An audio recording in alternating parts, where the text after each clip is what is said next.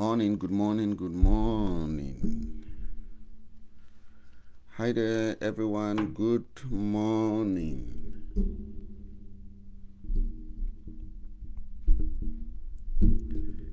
Good morning and welcome to my morning devotion.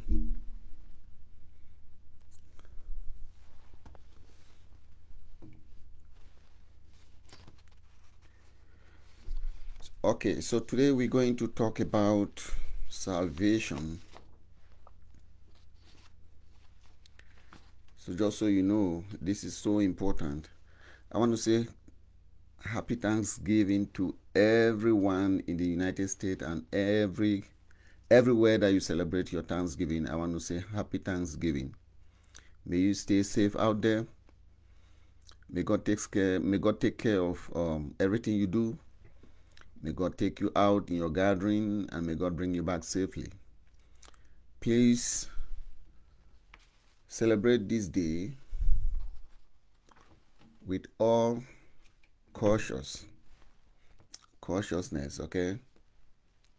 Father, we thank you this morning. We thank you this day. We thank you this day of Thanksgiving. We thank you for the life you gave us. We thank you for the people who are supporting us. We thank you for our neighbors. We thank you for our military. We thank you for just everything. We thank you for your Son, Jesus Christ. We thank you for the gift of life. We just thank you, God.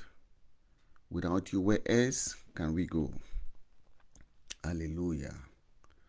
We thank you for those who are watching, and we thank you for everyone who is going to be online. In Jesus' mighty name. Amen. Amen. So today I want to talk about baptism. I mean, I want to talk about anyhow baptism is going to be one of the topic. So I'm going to be talking about salvation. What do you know about salvation? What is salvation? Salvation is not a doctrine. So, what is salvation and what does it mean to follow Jesus Christ? That's what we're going to be talking here today. And I want you to really pay attention because many of us do not know about salvation. We do not understand the process. I talk to many people and you get different answers. So let us today participate by watching. If you're watch, watching me, let me know wherever you're watching me from. And I want to thank God for watching. Today you're going to learn something that is going to be in you that no one will take it away from you. May God bless you as you watch. What is salvation? Please, if you're watching, I want to know where you're watching from. May God bless you this blessed day that we come together to thank God. The best place to be is in the presence of God. I want to know if you were here, and I believe God will bless you. At the end of this, we're going to pray. I'm just going to spend like 30 minutes, which is not a huge time before God. So, what is salvation and what does it mean to follow Jesus Christ?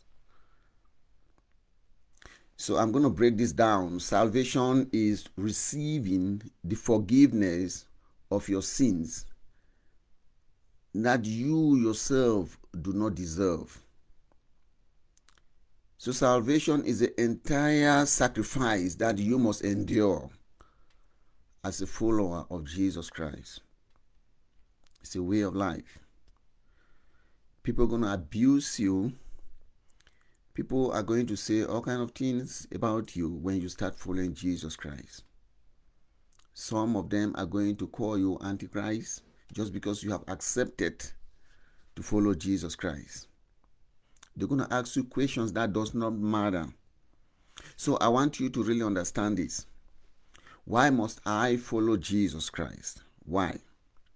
So in John chapter 14, verse 16, the Bible says, Jesus said, I am the way, the truth, and the life. No man comes unto the Father but by me. So different versions, they said similar thing, which is the same thing. that no one come to the Father except through me. That is Jesus Christ Himself said it. And so we know that one day, one day we're going to go back to God.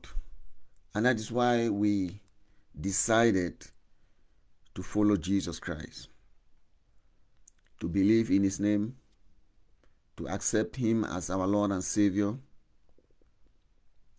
to go through water baptism as He, as he went, and to start live a victorious life with fear and trembling. So the first step to follow Jesus is to repent and confess of your sins and accept Jesus Christ as your Lord and Savior. It is a declaration. It is something that you have to be old enough and make that decision by yourself. You have to make the decision by yourself. You have to denounce Satan. Denouncing Satan is just denouncing your sins. Say, today I repent from my old ways. So it that is the first step of following Jesus Christ. So um so what is this first step? So you, you can't just follow Jesus Christ without making that declaration. You can't just go to church and every day you, you are going to church and you go to church by yourself without making that declaration. You have to. You have to. And that is a step before the water baptism. So that is the first step. So first in First John chapter 1, verse 9 in NIV, the Bible says, If we confess our sins, he is faithful and just and will forgive us our sins and purify us from all unrighteousness. So when you confess your sins, you confess your sins to Jesus Christ. He died for our sins. He died for us so that we may live again through confession. So that is the first step. In Philippians chapter 2, Philippians chapter 2, from verse 1, the Bible says, Therefore, if you have any encouragement from being united with Christ, if any comfort from his love, if any common sharing in the Spirit, if any tenderness and compassion, then make my joy complete by being like like-minded and having the same love, being one in spirit and of one mind. Do nothing out of selfish ambition or vain conceit. Or vain conceit. I'll break this down let me read the chapter completely. Rather, in humility, value others above yourself, not looking to your own interest, but each of you to the interest of the others. Verse 5 In your relationship with one another, have the same mindset of Christ Jesus, who, being in, in, in, in very nature, God did not consider equality with God so he, being in the same nature with, with God, but did not consider equality um, with God. So Paul is Paul that was talking here. So verse 6, who being in, in, in very nature, in the nature of God, did not consider equality with God something to be used to his own advantage. So Jesus did not use God for his own advantage. Most of the time he talks about God he talks about God as his father. He said, If you have seen God, you have seen me. So we should not use the church as a way of abusing other Christians. That because you attend this church, you will go to hell. Because you do not attend my church, you will not go to heaven. So this is Paul warning the churches. And this is what we see today. Someone said, Oh, you're going to that church? Okay. You must come to my church. My church is the best one. So I want you to understand this. So, um, verse 7 Rather, he made himself nothing by taking the very nature of the servant. Jesus used himself as a servant. He brought himself down. And being found in appearance as a man, he humbled himself by becoming obedient to death. He was obedient. Look at the Son of God went to John the Baptist to John the Baptist, asked him to be baptized. He did not question John the Baptist. He did not ask him, Where do you have all this knowledge? Today, people question other religion. And I know Jesus said it. He is the only way, He is the truth and the light. He said it. No one comes to the Father except through Him. But Jesus is not to condemn. So let me finish here with, with this verse 9. Therefore, God exalted him to the highest place and gave him the name that is above every name, that at the name of Jesus every knee should bow in heaven, on earth, and under the earth, and every tongue acknowledge that Jesus Christ is Lord. To the glory of God the Father. So Jesus gave glory to God the Father. He gave God all the glory. Everything that happened to us, everything we do, what I do today, I give glory to God. So this is part of our salvation.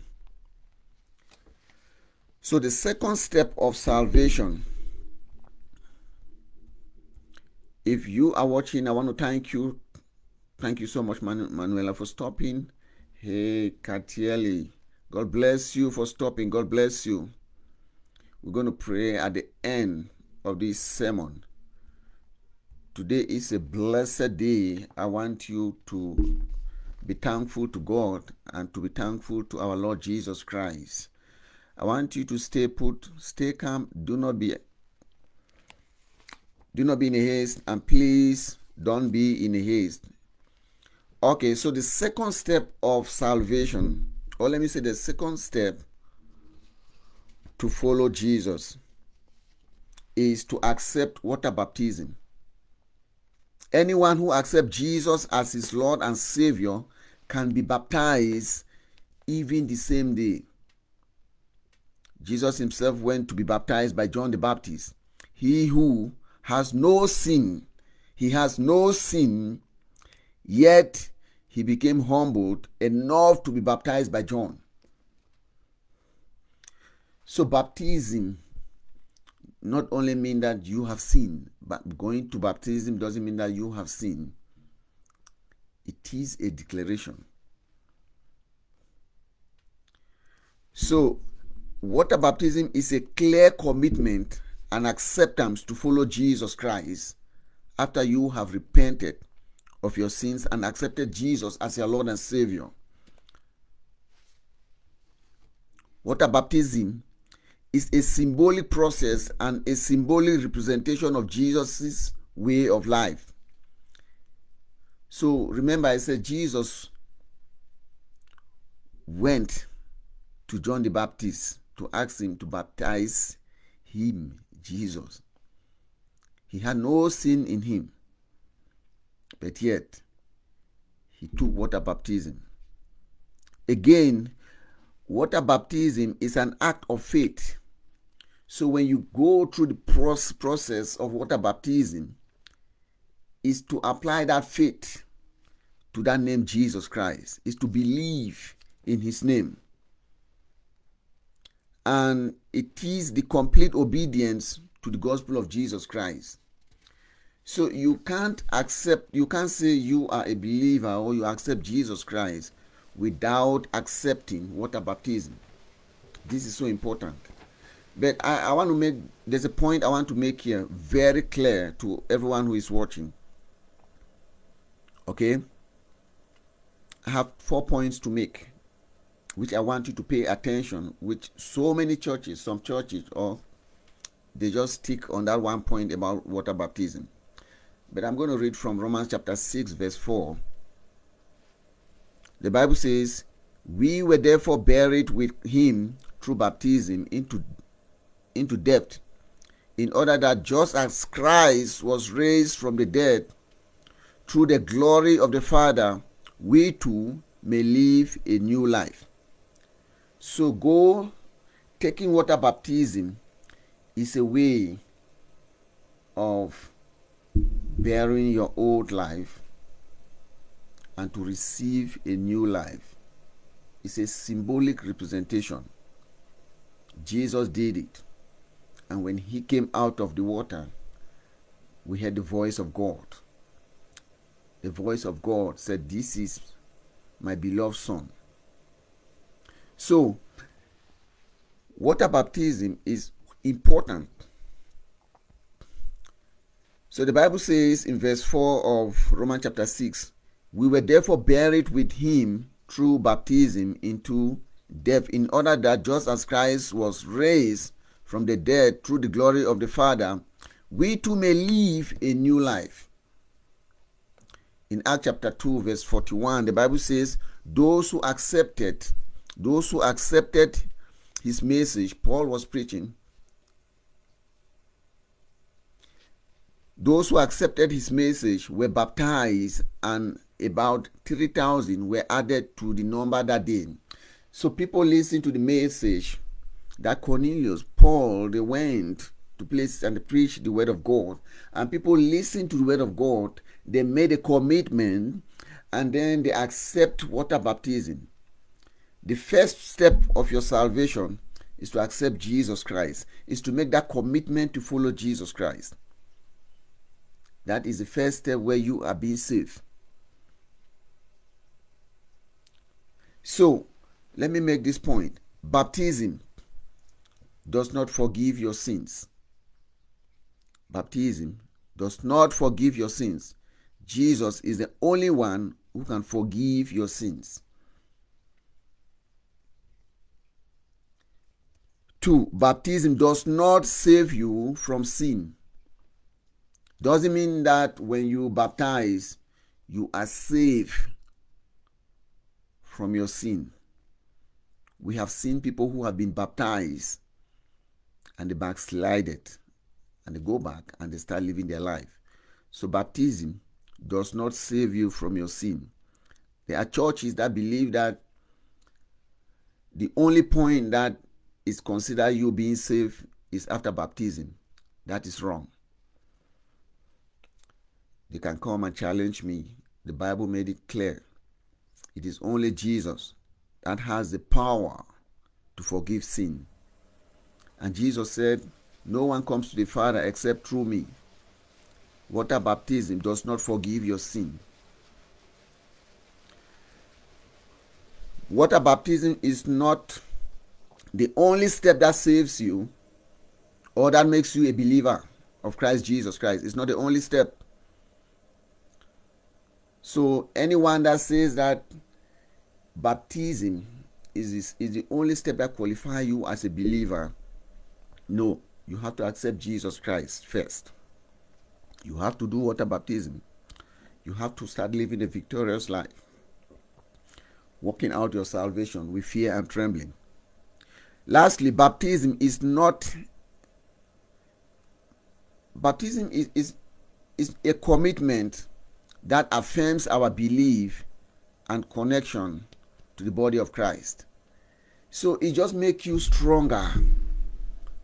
So I already explained that it's a point where you you go under the water, you, which therefore means you bury your sin, and then you come out of the water, which therefore means you receive a new life.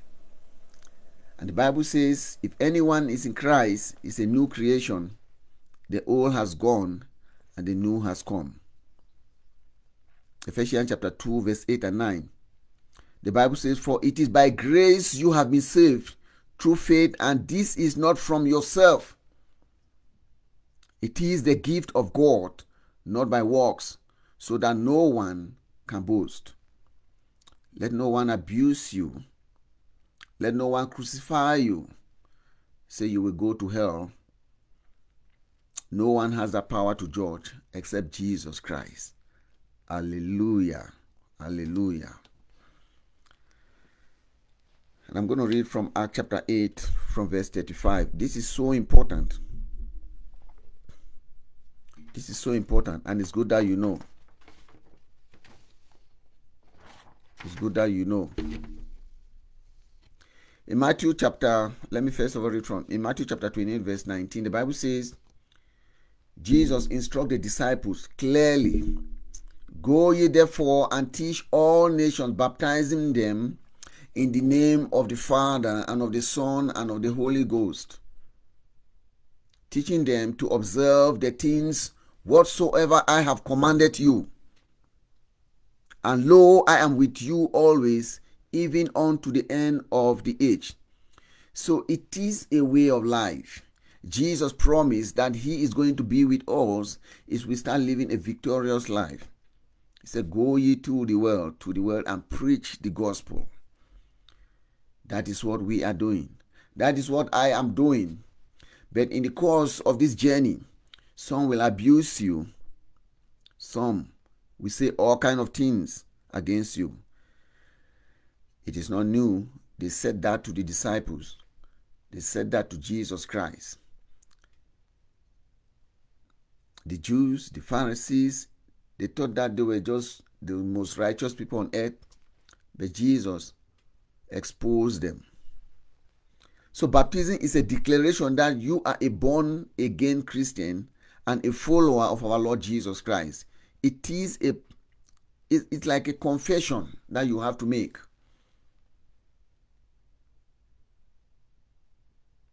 It is a confession of your faith in Christ. And and it is it's a commitment to continue to follow Jesus Christ. When you accept Jesus Christ, it's one step. When you go through water baptism, it's another step. When you start living a victorious life, it's another step. So this is our way of salvation. It's an everyday thing. But let no one crucify you and tell you that this is the only step that qualify you to be saved. I was talking with somebody on Sunday. I have a program that I do every Sunday. And he said, the only true church is the Church of Christ. See, all other churches, 99% of, of, of churches do not obey what the Bible is saying. Self proclamation. And I'm saying this because that is flat wrong. So, the third step to follow Jesus is to start living a victorious life. Hallelujah. A victorious life is to continue to work out your salvation with fear and trembling. That is the third step. And that is the victorious way of life. Hallelujah. In Philippians chapter 2, verse 12. Therefore, my dear friends, as you have always obeyed, not only in my presence, but now much more in my absence, continue to walk out your salvation with fear and trembling.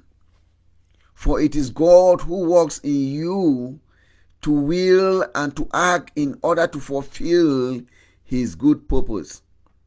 A victorious life is to fulfill the purpose of God.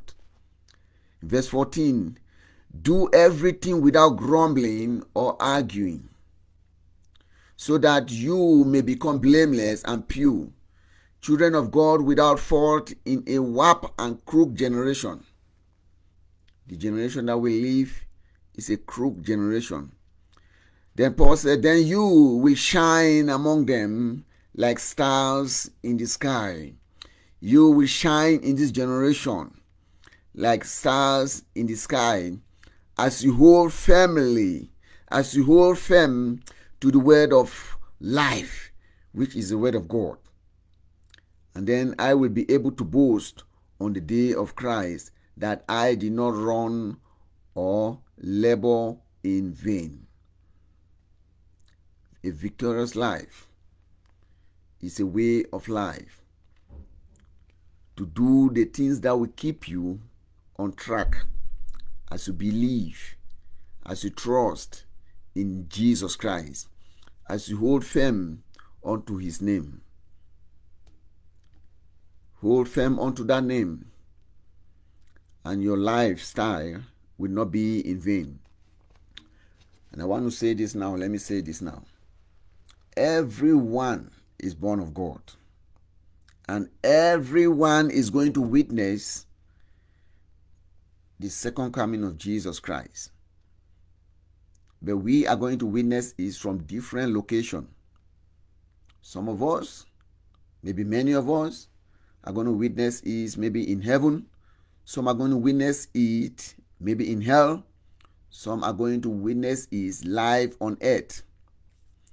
So you are going to witness it. The things you refuse to believe, one day you are going to see it clearly but you are going to be from a different location as you witness it. At that point, nothing will change. Nothing will change, just like the days of Noah. When the flood started coming, it was too late to change, to make a decision. Today, I encourage you to follow Jesus Christ, to accept Jesus Christ, to denounce your bad ways, to accept Jesus Christ as your Lord and Savior. He himself said he is the only way. No one comes to the Father except through me. What will stop you from going back to the one who created you? What will stop you to live a victorious life? What will stop you to accept Jesus Christ? So, following Jesus Christ is not a doctrine, it is a way of life for all believers in Christ Jesus Christ. So when you believe in Jesus, you have to follow Jesus Christ as your Lord and Savior. In Mark chapter 16, verse 16, Jesus said, Then Jesus said, Go into the world, go everywhere and preach the message of good news to um to one and all. Whoever believes and is baptized will be saved. Whoever refuses will be damned. In other words, will be condemned. So Jesus do not condemn anyone. It is our disbelief and our refuse, our refusal to acknowledge him will condemn us. Let no one condemn you, even if you have not made up your mind. It is a work of the Spirit. But my prayer for you is that you will accept Jesus Christ as your Lord and Savior, and you will follow the footstep of Jesus. He himself went to, the, to John the Baptist to be baptized. So, baptism by submersion is a symbolic representation of Christ's burial and resurrection, which symbolize the burial of your old life as you went down, as you went down under the water, and resurrection of your new life as you come out of the water. So you are now you are now a brand new Christian. So you now have a brand new life in Christ. In 2 Corinthians chapter 5, verse 17, the Bible says, Therefore, if anyone is in Christ, the new creation has come, the old has gone, the new is here. Hallelujah. Hallelujah. So I'm going to read finally from that Acts, chapter 8, verse 35. Then Philip began with that very passage of scripture and told him and told him the good news about Jesus Christ. Philip went and was preaching about the good news of Jesus Christ. As Philip traveled, he was preaching to the Ethiopian eunuch. As they traveled along the road, they came to some water, and the eunuch said, Look, here is water. What can stand in the way of my being baptized? So look at the man who just received the word of God and he believed in water baptism and he saw water and he said, What can stop him from being baptized? And, and he gave orders to stop the chariot. Then both Philip and the eunuch went down into the water, and Philip baptized him. When they came up out of the water, the Spirit of the Lord suddenly took Philip away, and the eunuch did not see him again, but went on his way, rejoicing. Hallelujah. Father, I want to thank you this morning. I want to thank you for this Thanksgiving Day. We thank you for your wonderful gift of life. We want to thank you for your Son Jesus Christ. As we come, as we come before you this morning, we want to thank you because every good thing comes from you. As we celebrate this day, we pray in the name of Jesus Christ that there will be peace. We pray for safety. We pray for protection. We pray for peace everywhere. We pray that the blood of Jesus Christ will be, will be sprinkled everywhere so that there will be peace, so that there will be safety along the road, along the beaches, along the airways, along the airports, and along different homes as they celebrate this day. We pray for safety, we pray for peace, we pray for protection of life in Jesus' mighty name. Amen. Amen. Happy Thanksgiving, everyone. I know everyone is happy, is happy to celebrate this day, but the turkey are not happy because many of them are going to be gone. They want to thank God for this day. I want to thank everyone who stopped by. I want to bless you and I thank you so much for being part of this morning devotion. May the Spirit of God be with you. May the grace of God be with you. May His peace be with you. May the shalom of our Lord Jesus Christ, that peace from above, be with you. Hallelujah, hallelujah, hallelujah. Thank you all for stopping. Father, I pray in the name of Jesus Christ that anyone who is sick, may you, oh God, send your Holy Spirit to touch them. Anyone who is going through issues, may you, God, send your Holy Spirit to heal them. Father, we pray that you find solution to their problems. We pray in the name of Jesus Christ that you bring peace in their relationship. We pray in the name of Jesus Christ that may you, oh God, release power from heaven to to go against the, their enemies, Lord. We pray that the, your face will shine on their way. We pray that you build an aura of protection around them. And may you grant them the solution that they are looking for. Father, we thank you even as we come closer to the end of this month. May you bless your children. May you prepare them for the month of November, uh, December. Father, we pray that nothing bad will happen to them. We pray that the peace of God will be with them. We pray that the power of the Holy Spirit will protect them in their going out and their coming in. May God bless you. May God give you the desire of your heart. May God bless you so that you know how to handle your relationship. May God bless you with the wisdom that you need to handle your friends. There is a way to treat your friends. May God bless you to love others. May God bless you to take away hate from your own self. May God bless you to love your own self. Love begins from your own self. Do not discredit yourself. May God bless your family. May God bless your coming generation. In Jesus' mighty name. For those who are going to write their exam, you are blessed ahead of time. For those who are traveling, may God bless you with journey mercy for those of you whose family members are sick, may God grant you that healing. May God grant you that healing. May God grant you that healing. Through you, you may stand in the gap of your family member, and God is going to heal that person. I pray. I pray for someone who is sick. I pray for my younger cousin in the name of Jesus Christ. I lift him up in Jesus' mighty name, I proclaim healing in his life at this moment. In Jesus' mighty name, I command that sickness to go now. I command it by the power of the name Jesus Christ, which by the mention of that name, every knee must bow and every tongue must confess in heaven and on earth. In the mighty name of Jesus Christ, I command that sickness to die. May you live. May God give you the strength and the energy to live. And may God bless you with many, many more years.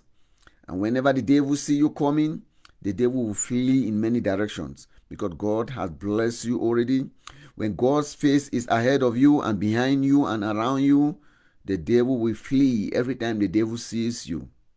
May you have that power that your enemy will not, will never withstand you. In Jesus' mighty name. Amen. Amen. Thank you very much for being here this morning. I want to bless you. This is exactly 35 minutes, minutes since I started this devotion. And I want to thank God for giving me the energy and the strength. Katieli, I prayed for you, and I know God has, has, has answered your prayer. Amen. Amen. Hallelujah. Bye. I'll see you guys tomorrow. If God asks me to come, I'm going to come. I listen to the voice of God. I do the work of God, not by myself, but by the will of God. And I pray God bless you also to give this good news to someone. If you did not start watching this video, please find time and watch this video. It's about what is salvation. So you understand this. So nobody can tell you lies about salvation. Even in the nation that we live, some people try to frame this word of God to condemn other people, to see other people as if they do not even qualify. Some people will tell you that you are not qualified to go to heaven. They will say all kind of things. They do not believe that. Jesus Christ died for you. He paid the price on the cross. He wants you to be saved. Anyone who abuse you or condemn you, allow the scripture to work in their life. The Bible says, if anyone judge you, God himself will judge them. So if you have accepted Jesus as your Lord and Savior, and anybody try to say evil things against you, anyone who judge you, the Spirit of God, which is the Word of God, is judging that person. Amen. Because the battle is not yours, the battle is God's battle. Hallelujah. May God bless you. Hallelujah. May God bless you. I want to thank you, Manuela, for stopping, and I want to thank you, everyone who stopped by. Um, for those of you that we made your gift, um, some of you will be receiving it by tomorrow, and some maybe by Saturday. Somebody will call you all and then start giving you the gift that we promise you. Hallelujah. God bless you. Bye bye.